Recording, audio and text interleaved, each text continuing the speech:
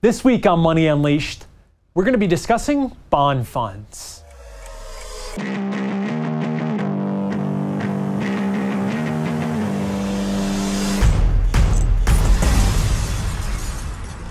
When you see bond funds, make sure you run.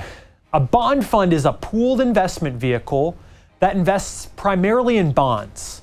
We're talking government bonds, municipal bonds, corporate bonds, or even convertible bonds. They may also look to invest in other types of debt instruments. These funds are very commonly found inside of your employer sponsored plans, like your 401ks, TSPs, or 403bs. Bonds have an inverse relationship with interest rate changing environments. When interest rates look to go up, bond prices typically go down. In 2022, the Federal Reserve was very aggressive in their stance of raising interest rates. This did not bode well for bond funds.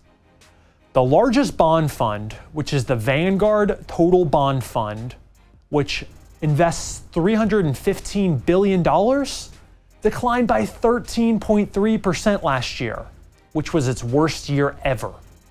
Thanks for joining us here at Money Unleashed as we go through educational topics and all of the great things going on here at the Hoffman Financial Group.